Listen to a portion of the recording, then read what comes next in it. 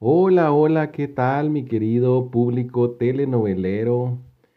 El día de hoy les vamos a hablar de eh, una telenovela eh, mexicana producida por Carlos Sotomayor para Televisa en el año 1999 y les estamos hablando de Infierno en el Paraíso.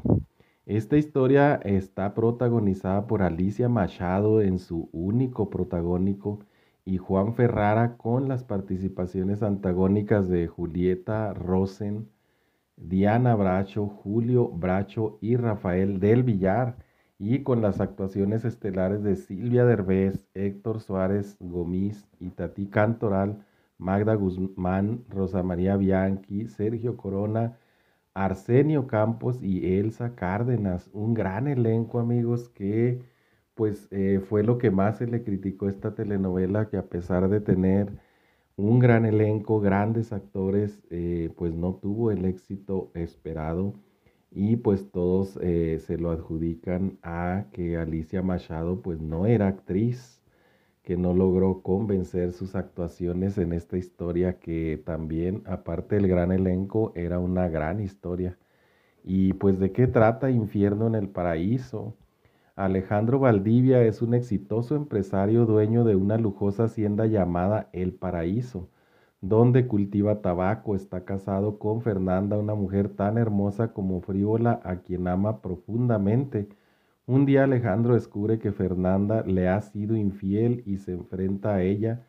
Fernanda intenta huir, pero Alejandro, enfurecido y celoso, la persigue en su automóvil provocando un extraño accidente en el que ella desaparece y se le da por muerta. Más adelante Alejandro vive agobiado por el sentimiento de culpa y no consigue ser feliz.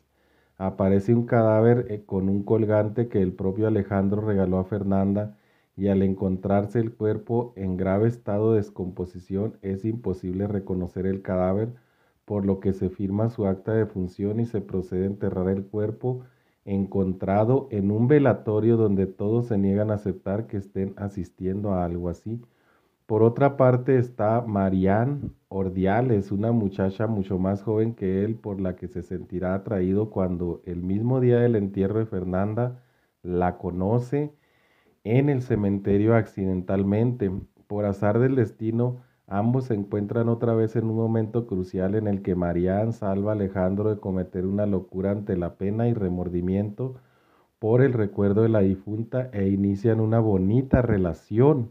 Alejandro decide rehacer su vida con Marianne y contraen precipitadamente matrimonio, pero las cosas no serán tan fáciles cuando se encuentren en la oposición de toda la familia Alejandro al irse a vivir al paraíso, ya convertidos en pareja, especialmente la de su hermana Dariana, quien desea quedarse como única heredera de la fortuna de Alejandro y junto a su hijo inventará intrigas para crear conflictos y deshacerse de Marianne, haciéndola pasar por loca y comparándola continuamente con la difunta esta telenovela, amigos, eh, fue creada por Nora Alemán y ella misma al lado de Nora Sánchez, Alejandra León de la Barra y Martín Tames se encargaron de hacer la edición literaria y la adaptación para la televisión.